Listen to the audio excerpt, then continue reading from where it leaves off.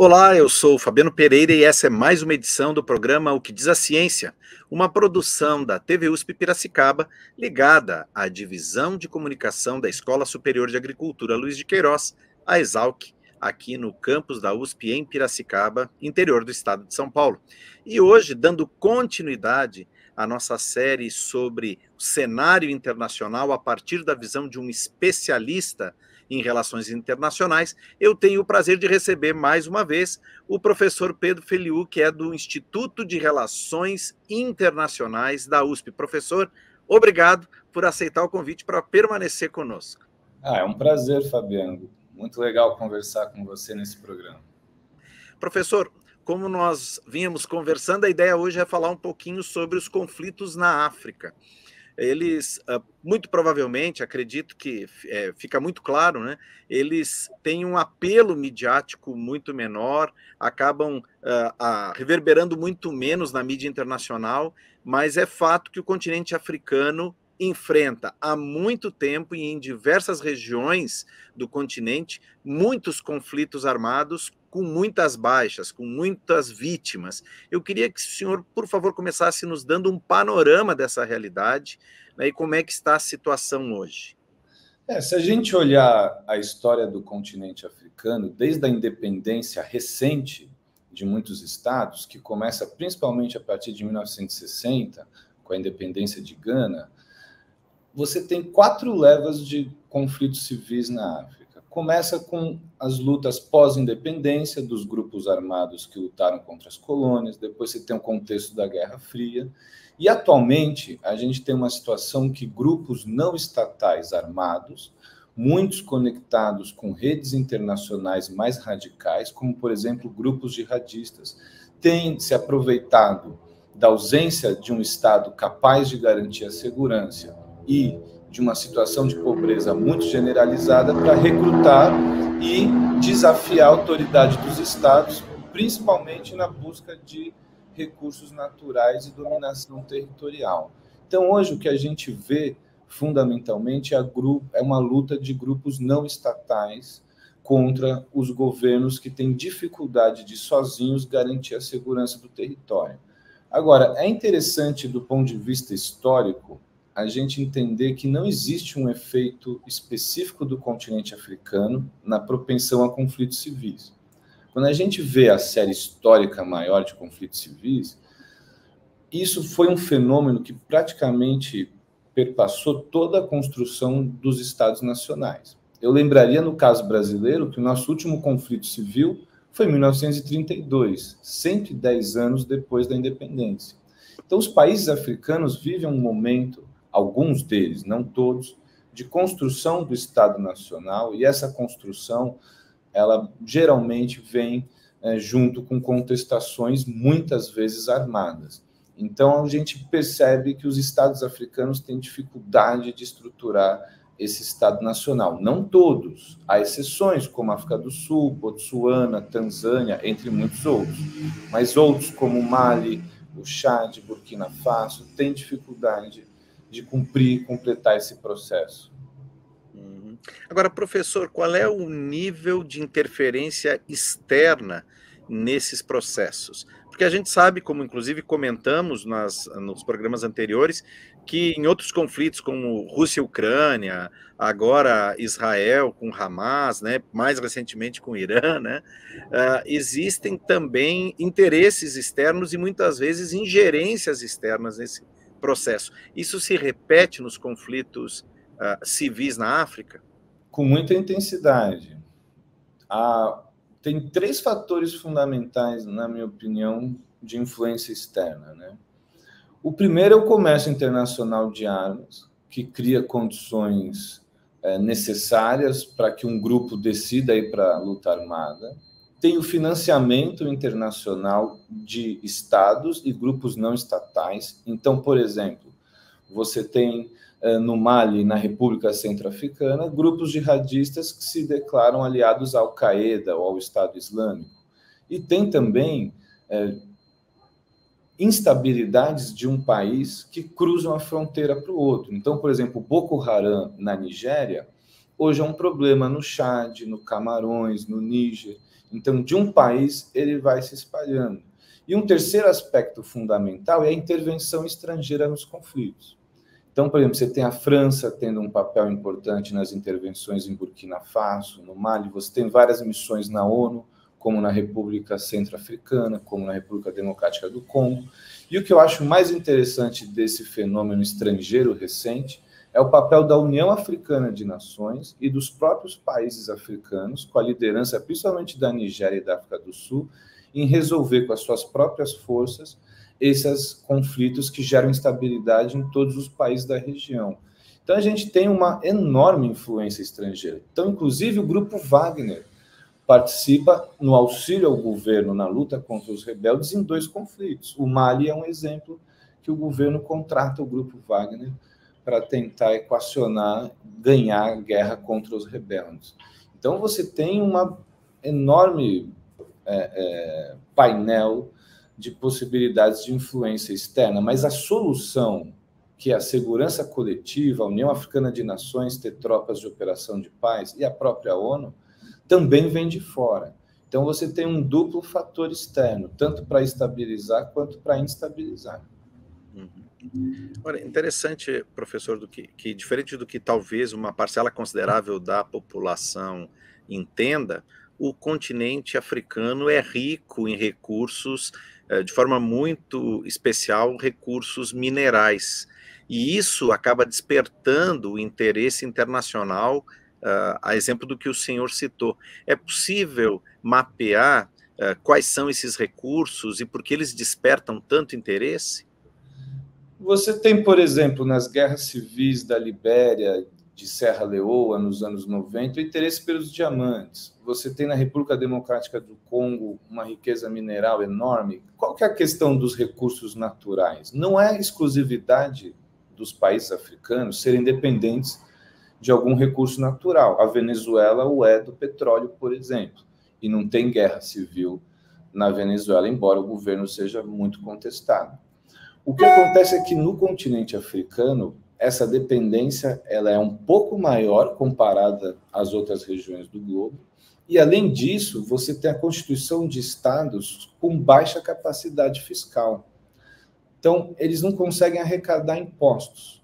O máximo que eles conseguem é nessa exploração de recursos naturais. E o poder econômico fica extremamente concentrado numa elite, o que faz com que grupos armados rebeldes, que grupos fora dessa elite, tem um incentivo de ir para a luta armada, porque ele conquistou aquele recurso, aquele território, ele vai ter o benefício imediato de uma commodity facilmente vendida internacionalmente. O Estado Islâmico no norte do Iraque, quando teve a guerra civil na Síria, ele rapidamente foi atrás de, de reservas de petróleo. E aí, se ele consegue dominar um território, consegue vender rapidamente esse tipo de recurso no mercado internacional. Então, facilita no, na lógica custo-benefício, grupo rebelde entra ou não na luta armada, a presença do recurso natural aumenta a perspectiva de benefício, que facilita, sem dúvida, a ocorrência do conflito. Mas há países como Botsuana, extremamente ricos na mineração, que não têm conflito civil. Então, não é a existência desse fenômeno que vai gerar o conflito, mas ele acaba, junto com outras variáveis, facilitando a ocorrência do mesmo. Uhum.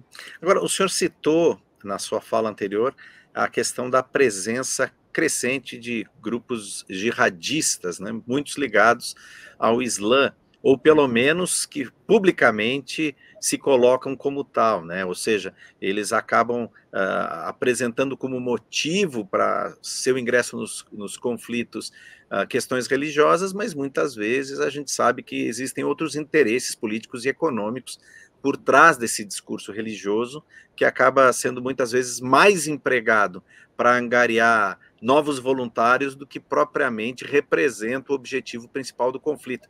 E recentemente eu conversava com um amigo que é brasileiro que mora em Moçambique e ele diz que esses grupos já têm afetado o norte do país, ou seja, parece que uh, ele, à medida que o tempo passa, esse movimento ou essa inserção que começou mais ao norte, ela vai descendo rumo ao sul do continente africano. Como é que o senhor analisa isso e quais são os impactos para o continente de forma geral? É, esse caso que você citou de Moçambique é o Al-Shabaab, né? que está na Somália, está no Quênia e está em Moçambique. No caso moçambicano, você tem uma coalizão formada pela Tanzânia, Ruanda e com tropas da União Africana de Nações que tentam combater esse grupo insurgente no Moçambique. E esse espirra da Somália, né? E também o Quênia teve problemas com esse mesmo grupo. Então, esses grupos veem no continente africano essa dupla oportunidade. A possibilidade de conquistar um território com recursos naturais e capacidade de financiamento, e ao mesmo tempo tem muita gente para ser recrutada, porque a renda per capita média tende a ser baixa nos países como a Somália, o Mali, o que não acontece em Botsuana, na África do Sul. Mas nesses países que a renda é mais baixa, os jovens têm poucas oportunidades e são muito mais facilmente recrutados. Então, vira um terreno muito fértil para a expansão desses grupos que têm a sua origem nos conflitos do Oriente Médio. Se a gente comparar hoje, a região com maior número de conflitos desse tipo está na Ásia, especificamente na região do Oriente Médio. O segundo lugar é o continente africano. E sempre teve uma histórica relação entre a Península Arábica e toda aquela costa do continente africano, que inclusive é de maioria muçulmana. Então, essa conexão é extremamente antiga e essa influência já existe há muito tempo. Agora, esse novo fenômeno desses grupos jihadistas, insurgentes, sem dúvida, é, até não era tão inesperado que eles tivessem essa expansão, essa atuação para o continente africano. Agora, são combatidos pelas potências e pelos países locais. Então, os Estados Unidos faz ações de combate, a França, principalmente, o Reino Unido em alguns países. Mas o que é interessante, como eu ressaltei, é que hoje os próprios países africanos, Ruanda tem uma participação importante em enviar tropas em distintos países para tentar manter a estabilização. Então, eles vão ser, como foram na Síria, fortemente combatidos pelos países com um pouco mais de capacidade estatal e também pelas potências. Hum. Perfeito, professor. Agora, isso, de certa forma, acaba prejudicando muito não só a imagem uh, do continente como um todo, porque, infelizmente, muitas vezes a, a, a, as pessoas, principalmente que não, não são ligadas ou não têm ligação com essa área da, de relações exteriores, de análise de conjuntura geopolítica, acabam uh, avaliando a África como um todo como um ambiente de profunda insegurança. E isso prejudica também os países que hoje gozam de estabilidade política, econômica, como o senhor citou. Ah, de que forma esses conflitos né, acabam, vamos dizer assim, afugentando ou evitando novos investimentos internacionais nos países da região? É bem interessante esse tópico, porque há dois casos que chamam muita atenção, que que, que são ilustrativos disso: Ruanda e África do Sul. África do Sul, pós-apartheid, faz todo um esforço diplomático de mudar a imagem do país. Na literatura em inglês chama de nation branding, como se fosse a marca país. Algo que a Alemanha também fez e o Japão pós-Segunda Guerra Mundial, de tentar reconquistar uma imagem absolutamente deteriorada. Ruanda fez isso pós os conflitos civis de 94, o genocídio que ganhou notoriedade principalmente por conta dos filmes, na minha humilde opinião, porque na época foi bastante negligenciado pelas potências. E esses países pós-conflito, Ruanda goza de certa estabilidade. Eles fazem uma forte propaganda internacional. Eles gastam recursos estatais para fazer uma propaganda internacional de turismo e estabilidade econômica e política. E são dois casos bem-sucedidos tanto Ruanda quanto África do Sul mostram um desempenho, tanto em, por exemplo, turismo, investimento, bastante satisfatório. Claro que são dois casos distintos, mas Ruanda especificamente, que foi vítima de um severo conflito civil, é um país que consegue hoje reestruturar sua imagem. Tanto é que faz parte dessa reestruturação ele enviar, Ruanda enviar tropas para auxiliar a estabilização, tendo como um país que sofreu e hoje goza de certa estabilidade. Claro que tem várias outras questões em Ruanda que poderiam ser consideradas, mas ainda assim é um exemplo de país que faz essa reconstrução. Agora é muito difícil, é um grande desafio pós-conflito para esses países. Bom, o programa O que diz a ciência, hoje conversando com o professor Pedro Feliu, lá do Instituto de Relações Internacionais da USP, falando nessa edição sobre os conflitos civis na África, vai para um breve intervalo, mas volta já. Não saia daí.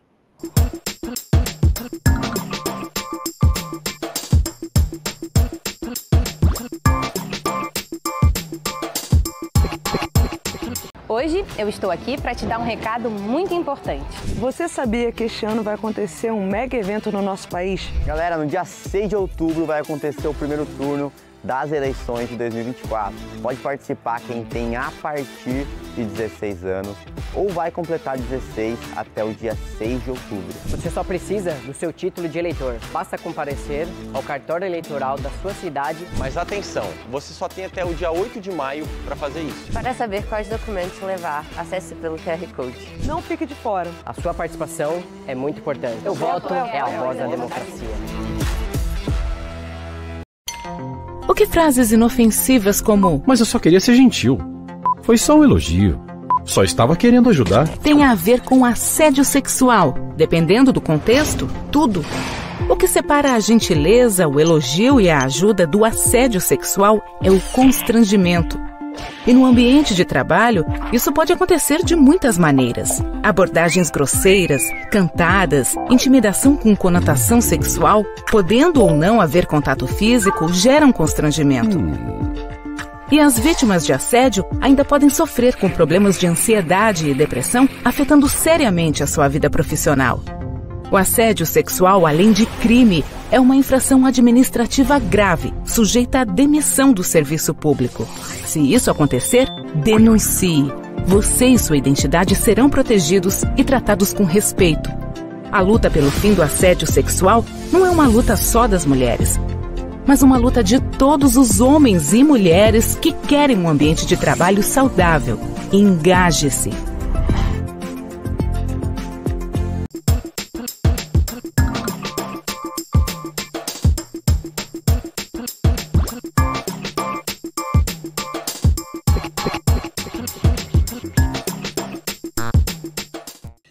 Estamos de volta com o programa O que diz a ciência, conversando mais uma vez com o professor Pedro Feliu, do Instituto de Relações Internacionais da USP, hoje falando sobre os conflitos civis na África.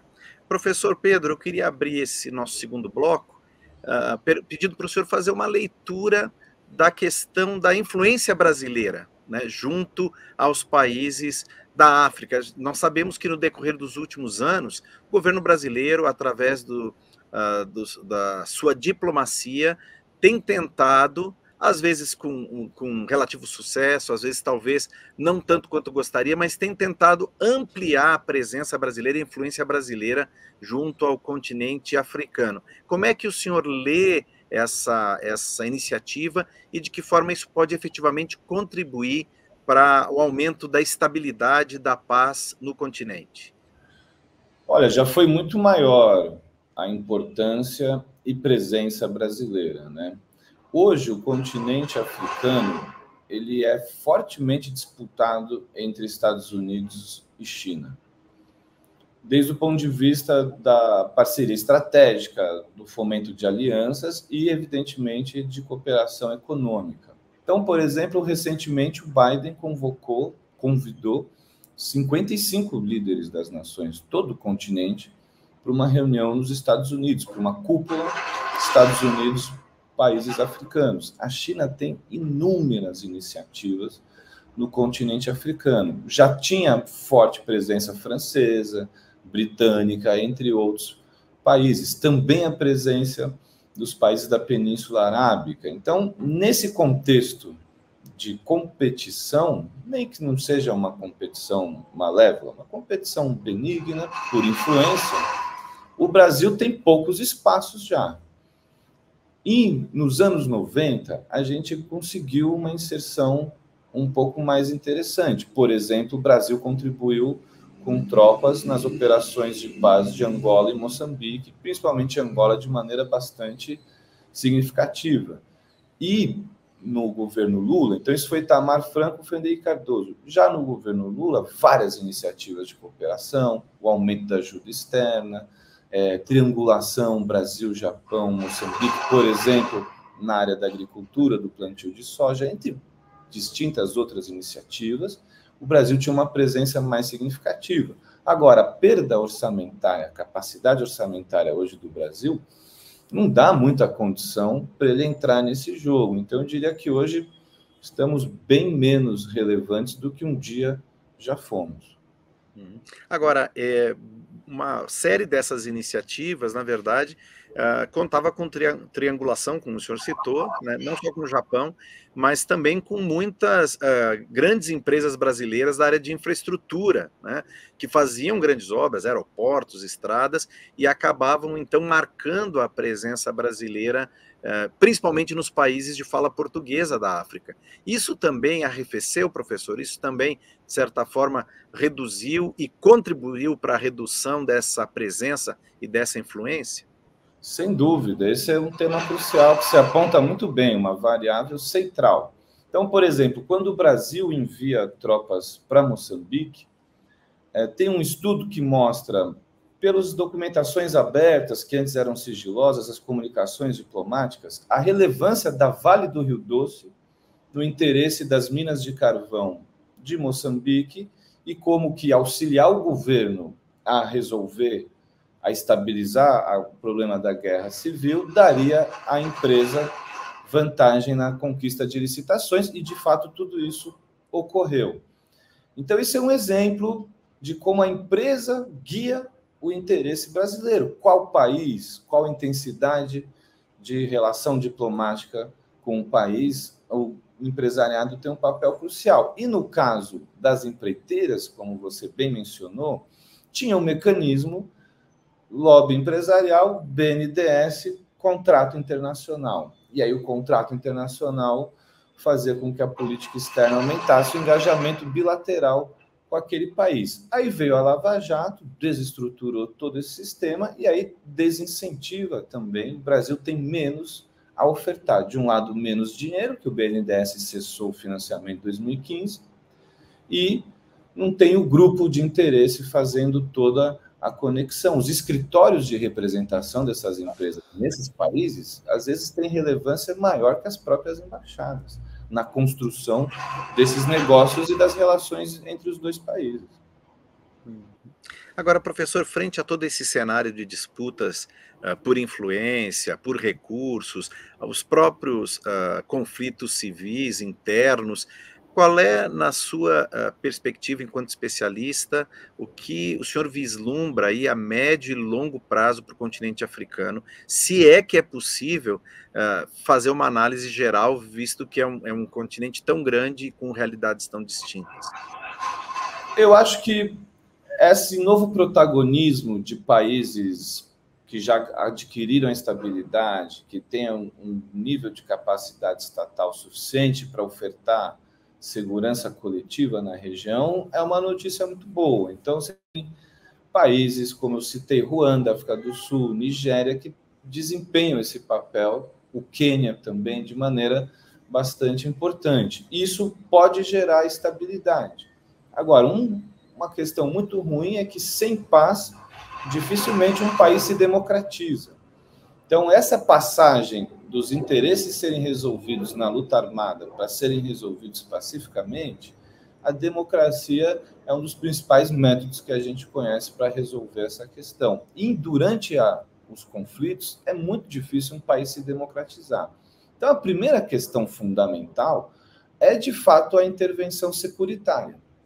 E aí, os países que são alvo, principalmente desses grupos insurgentes, armados não estatais, Jihadistas ou não, é bem complexo o quadro africano, não são apenas grupos jihadistas.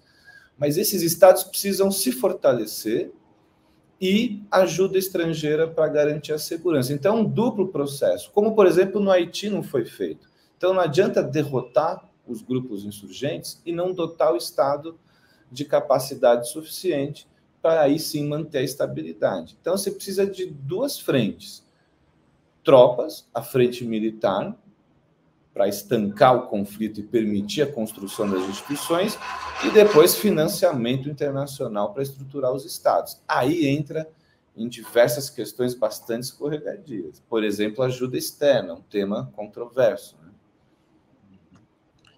Perfeito, professor. Agora, para quem nos assiste, quais são os próximos temas que nós vamos tratar nessa série? Para já deixar aí um, um gostinho de quero mais para quem tem acompanhado a nossa série de entrevistas.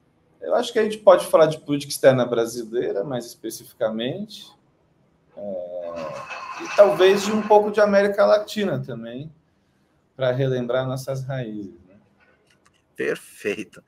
Professor Pedro, mais uma vez, muito obrigado por aceitar o nosso convite. E nós, então, retornamos para tratar desses dois temas e, quem sabe, de outros, já que é, é essa questão de geopolítica é extremamente dinâmica. Né? Desde que nós começamos a gravar essa série, muita coisa já aconteceu, inclusive em relação aos temas dos dois primeiros programas.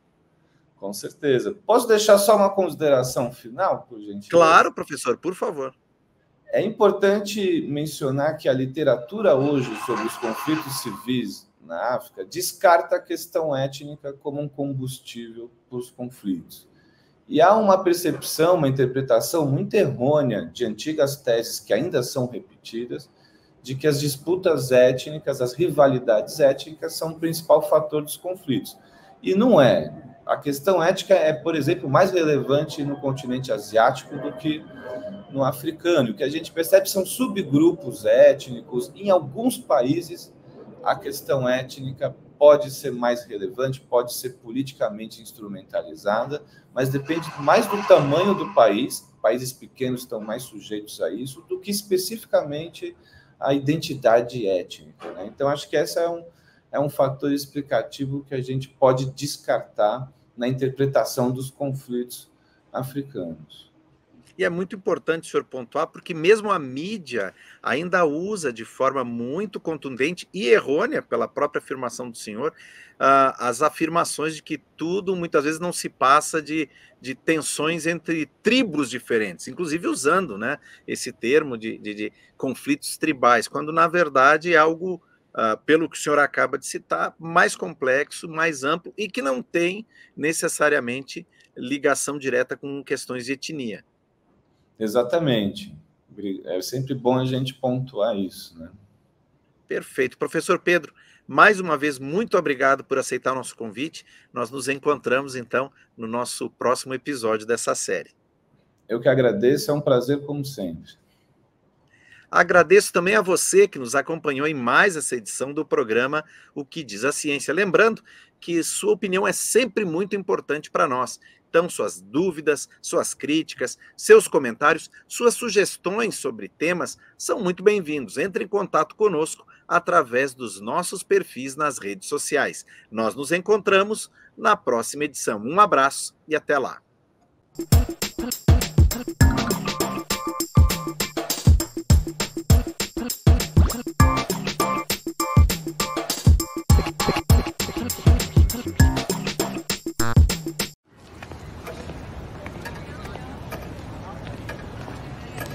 O Brasil vive uma tragédia. 1.388 casos de estupro por dia, quase um por minuto.